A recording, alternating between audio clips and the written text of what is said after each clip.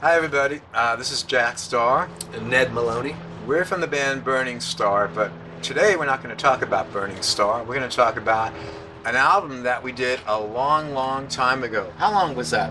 Uh, 30 years and counting. 30 years? Oh my God. I mean, I know you for 30 years? Hard to believe, yes. Amazing.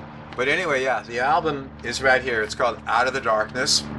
It's a great album that featured a lot of great players like Rhett Forrester. Uh, who else is on that album? Uh, Carl Canedy, uh, Carl Canedy. the, the famed producer of the era, Yeah, that's right. I mean, and uh, uh, Garry Bordonaro, the- both of the Rods. yeah, I think you know something about Gary. Yep, Gary's a fantastic bass player.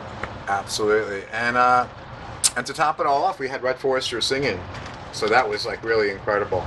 Um, what I want to really say about the album is that we're happy that it's coming back out. It's got a 16-page booklet. Everything's been remastered, digital sound, six bonus tracks, uh, and the cover. Let's talk about this cover for a second. This is not going to be the cover that you're going to see when it's available.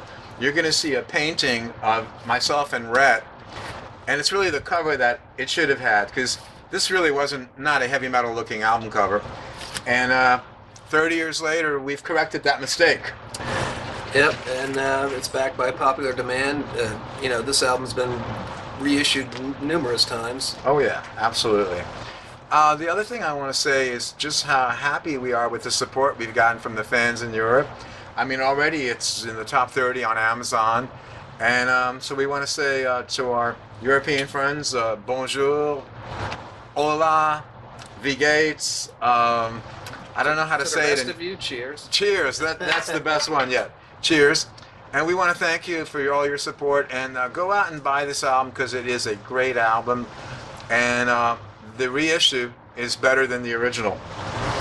Yep, and there's plenty to look at there with the, you know, the nice package they put together. Yeah, absolutely. And um, we're happy that we're still here and that we're still rocking.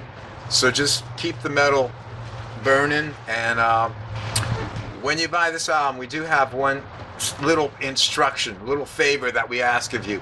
Please crank it loud. Would you say that that was the correct? Uh, Uh, you know, there's no other way to listen to it. no, there's no other way.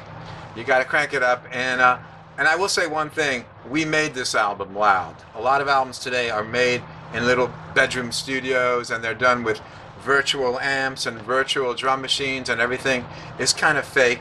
This album was recorded with loud Marshall amps.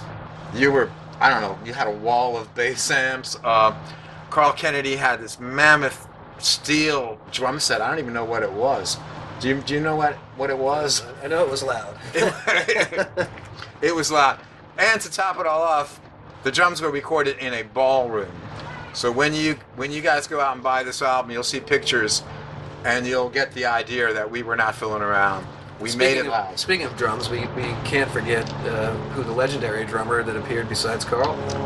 I think you're talking about Gary Driscoll, right? That's correct. uh, Of, of Rainbow fame. Yeah, absolutely. And. Elf, let's not forget that. Absolutely, yeah, with Ronnie James Dio, and that was just such an honor to have uh, Gary, you know, Driscoll play on the album, and the guys in the Rod, and Rhett Forrester. I mean, it was really a home run, and that's why 30 years later, I think we're sitting here having a beer and talking about an album because there are people that give a damn about it, and to you, all those people, we want to have a toast. So cheers, cheers, Cheers. Ned. Good job, mates. We'll see you in Europe. Yeah.